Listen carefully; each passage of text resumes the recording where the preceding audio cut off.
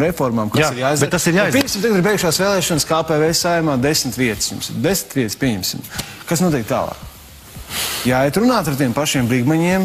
Nē, ar brīvmaņiem runāt nevajag.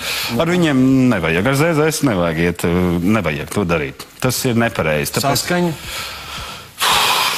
Vecīt, viņiem saskaņā ir jāizdara ļoti daudz lietu. tā atkal būs kompromiss. Atkal Kaut būs kā, ne, bet, protams, ka nu, tā politikā ir, kad ir, ir nu, nu, nu, jāsaprot, tu tagad runā, kā būs. Es nezinu, kas būs pēc tā 8. oktobra. Es nezinu.